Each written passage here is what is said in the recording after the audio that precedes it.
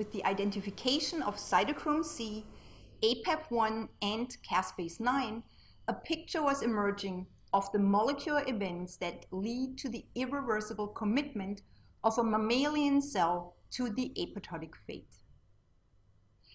Apoptotic stimuli lead to the activation of sensors, which results in the direct or indirect activation of the effectors of the BCL2 superfamily, BAX and BAK. Once activated, BAX and BAK cause a selective permeabilization of the outer mitochondrial membrane through a mechanism that is still unknown. This permeabilization allows cytochrome C release from the intermembrane space into the cytoplasm. The binding in the cytoplasm of cytochrome C to APAF1 monomers triggers apoptosome assembly. The assembled apoptosome facilitates the activation of the initiator caspase, caspase 9, which, once fully active, cleaves and activates the effector caspase, caspase 3. The activation of caspase 3 can be considered the point of no return, the event that irreversibly commits a cell to the apoptotic fate. Active caspases induce the processes that lead to molecular changes typical of apoptotic cells, such as PS externalization and DNA fragmentation, which altogether result in the dismantling of the cell and its engulfment and degradation. How conserved are these molecular steps in the worm in C. elegans? Let's look at the genetic pathways in worms and mammals and compare them. Then let's see what we know about each of the steps at the molecular level. And that let's start at the bottom. In mammals, a cascade of caspases is activated in response to apoptotic stimuli. However, in C. elegans, it appears to be just one caspase, CED-3, that is activated. Why a cascade of caspases in mammals, but not in C. elegans?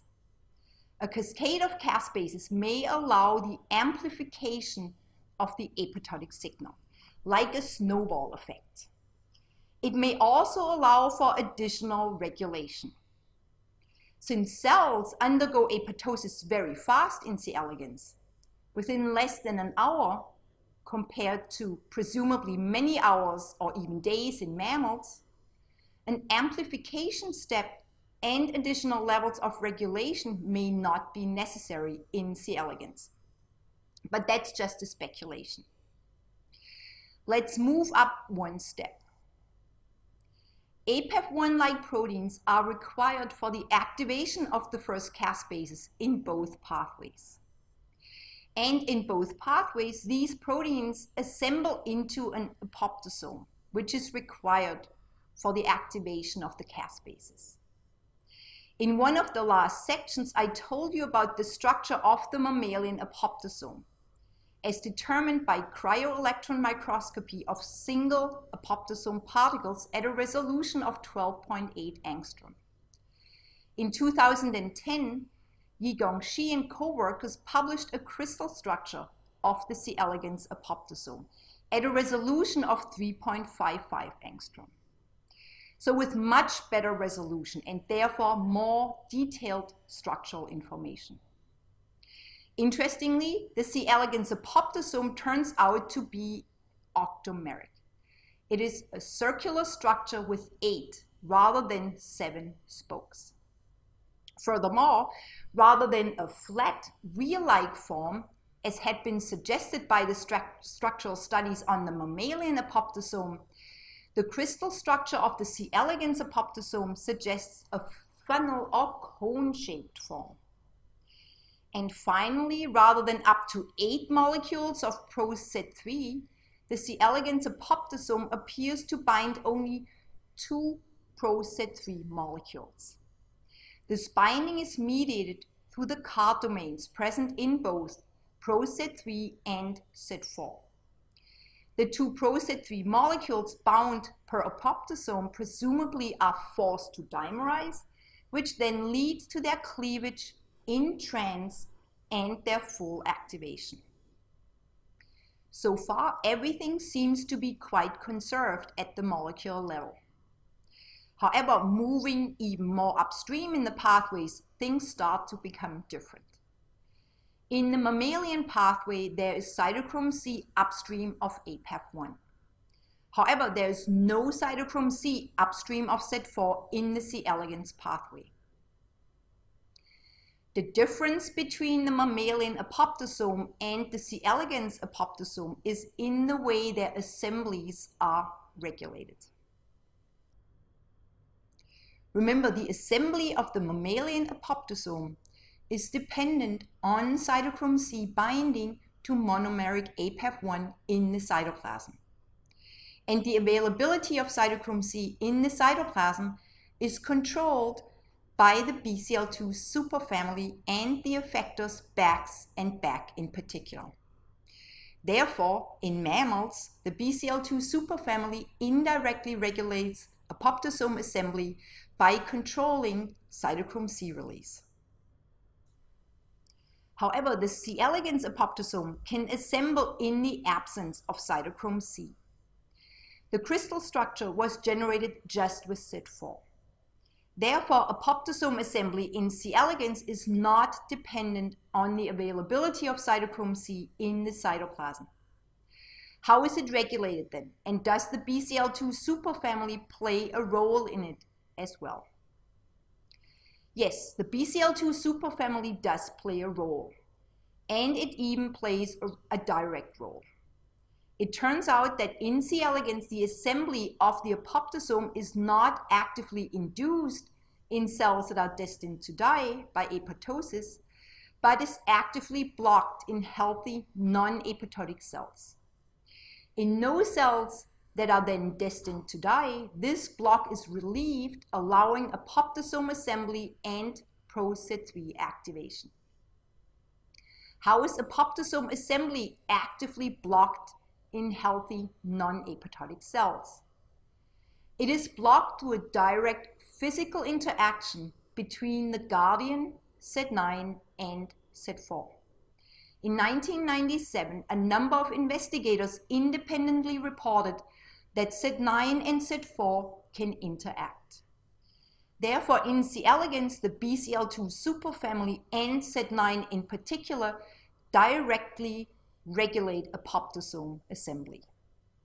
Interestingly, a few months after these findings were published, it was reported in two independent publications that, similar to what had been observed in C. elegans, mammalian BCL-XL and APAF1 physically interacted. The author's conclusions were mainly based on observations made with tissue culture cells that overexpressed both BCL-XL and APAF1. So maybe there are two ways to trigger apoptosome assembly in mammals, a direct and an indirect way. No, there appears to be only the indirect way, mediated through cytochrome C release. A year after it was claimed that BCL-XL can interact with APAF1, three independent reports refuted this finding. And it is now generally accepted that what had been reported was an artifact of BCL-XL and APAF1 overexpression. If apoptosome assembly in C. elegans is blocked through the physical interaction between CED-9 and CED-4, how is the block relieved in cells that are destined to die? Again, the BCL2 superfamily plays an important role in that. Remember that CED-9 can also interact with EGL-1, the C. elegans sensor. The way we think the block on apoptosome assembly is relieved is the following. In the 131 cells that are destined to die during C. elegans development, the sensor EGL-1 binds to CED-9. EGL-1 binding to CED-9 induces a major conformational change in the CED-9 protein. This conformational change leads to the loss of the CED-4 binding surface in the CED-9 protein and, consequently, the release of CED-4 from the CED-9 protein. Actually, ced-9 binds to a dimer of ced-4, and this dimer is released upon EGL-1 binding to ced-9. Four ced-4 dimers can then assemble into an octameric structure, the apoptosome. The model on how EGL-1 binding to ced-9 triggers apoptosome assembly is based on biochemical data obtained by a number of investigators and also on structural data.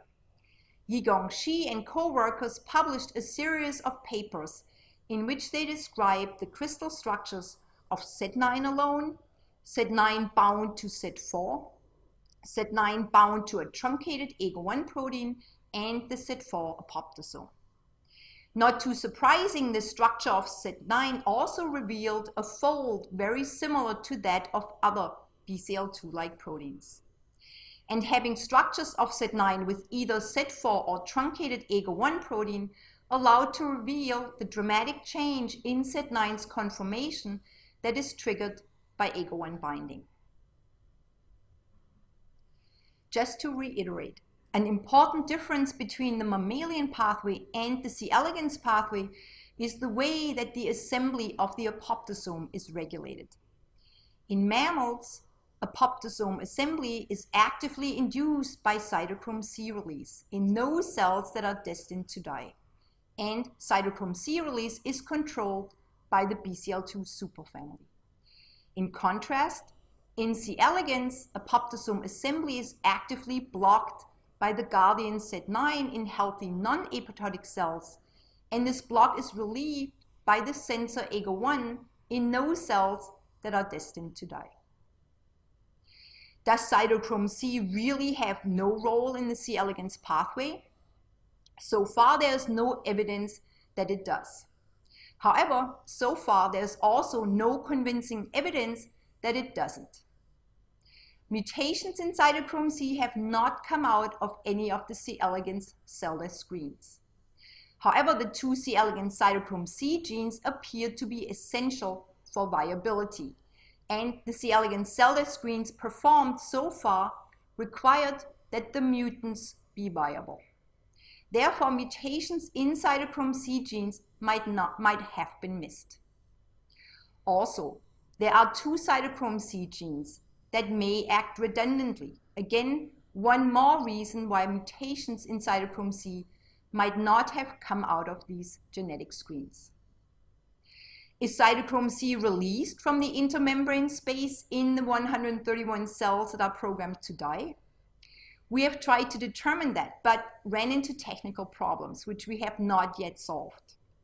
Therefore, at least as far as I know, it is still unknown whether cytochrome C is released in cells programmed to die in C. elegans. Fact is that the C. elegans CED-4 protein is missing the WD40 repeat domain of APAF1, which mediates the interaction between APAF1 and cytochrome C.